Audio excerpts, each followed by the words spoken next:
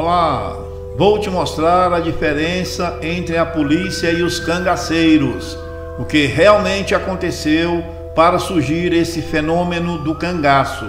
Será que só os cangaceiros eram covardes? Mas antes se inscreva no canal, dê um like e ative o sininho para você receber do YouTube novos vídeos interessantes como esse. Combinado? Então, bora pro vídeo! Os cangaceiros surgiram por causa da covardia do Estado, dos coronéis fazendeiros ricos e corruptos, que sugavam os mais pobres e não davam nada em troca, a não ser um punhado miserável de arroz com feijão e um pedaço de mochiba, que até um cachorro sem fome não comeria. O primeiro bando de cangaceiros que se tem conhecimento foi o de Jesuíno Alves de Melo Calado, o Jesuíno Brilhante, surgindo por volta de 1870. O último cangaceiro foi Corisco, Cristino Gomes da Silva Cleto, que faleceu em 1940. A desigualdade social era absurda na época. Só existia ricos e políticos na primeira classe puxa-sacos como pequenos comerciantes e a polícia na segunda classe social. E o resto eram os miseráveis, fugindo da seca e da covardia do Estado e da polícia, que sinceramente, depois de meus estudos esmiuçando a história, fiquei com nojo da justiça e da polícia da época. Tudo era comprado. Se um coronel ou político matava alguém, geralmente donos de pequenas terras invadidas e forjadas em cartórios, era só dar um conto de réis ao comandante da polícia que estava tudo certo.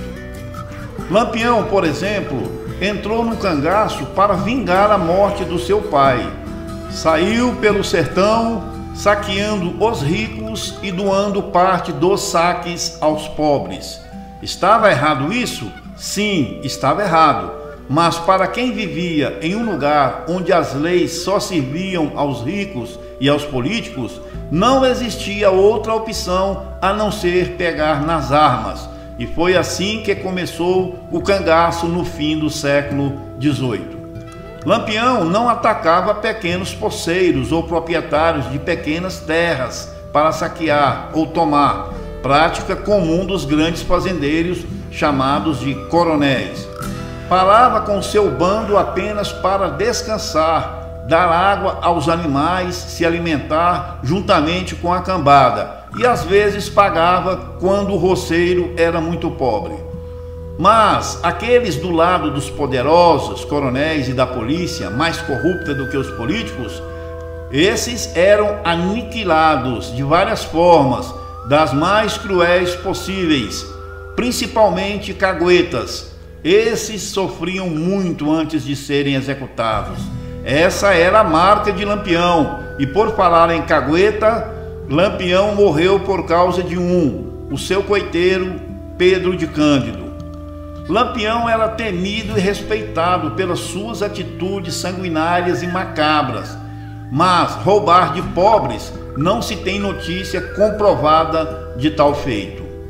Existem muitas histórias e lendas sobre Lampião e seu bando, mas recapitulando as entrevistas do próprio Lampião e de cangaceiros que conviveram com ele, podemos dizer que Lampião era um bandido porque roubava ou extorquia pessoas mais abastadas, coronéis, fazendeiros ricos ou pessoas ricas da alta sociedade, macomunadas com os políticos, que na época de Lampião era quase todos corruptos. Era um bandido, mas com razão de ser bandido. Não sei se posso dizer isso, mas nunca se soube em toda a história que um policial da época dos anos 10, 20 e 30 foram pelo menos julgados pelos assassinatos que praticavam ao bel prazer demoníaco. Eram bandidos fardados, da pior espécie, pois tinha a farda e o Estado encobrindo as suas malvadezas. A tática de Lampião era ser cruel no extermínio dos seus inimigos, para intimidar os coronéis e fazendeiros ricos e entregar pelo portador a quantia exigida, sempre de valores altos. Quase sempre tinha sucesso e não molestava mais a vítima por um tempo.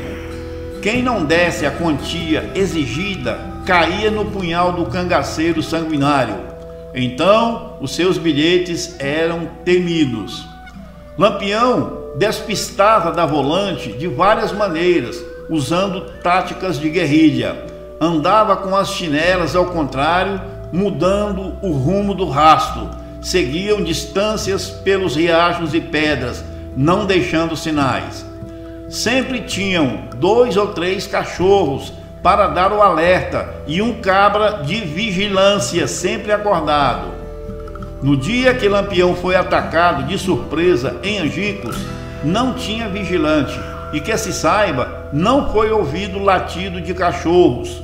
Desconfia-se que Pedro de Cândido, ao sair da grota do Angico, onde Lampião ia passar um tempo, tenha matado ou levado um cachorro que era amigável com ele para depois entregar a cabeça do seu chefe. Lampião foi um revoltado pelas injustiças sofridas e então vomitou o seu ódio na sociedade suja e covarde. O prejuízo que Lampião deixou foi grande. Mais de duas mil pessoas perderam a vida na ponta dos rifles ou dos punhais. Lampião foi um bandido? Sim, foi. Ele extorquia ou roubava? Sim, dá na mesma. Extorquia, usava da covardia, matava soldados e inimigos presos? Sim, mas a polícia da época torturava e matava inocentes para contar o que às vezes não sabia, o paradeiro de Lampião. Saqueava os pobres, pequenos poceiros, comiam toda a sua comida, estuprava as mocinhas e até velhas e tomava os cavalos.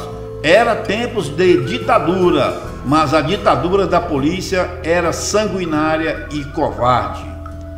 Então, se meter Lampião e seu bando, a polícia, os chamados macacos, os políticos e os coronéis em um saco, vão se tornar tudim farinha do mesmo saco.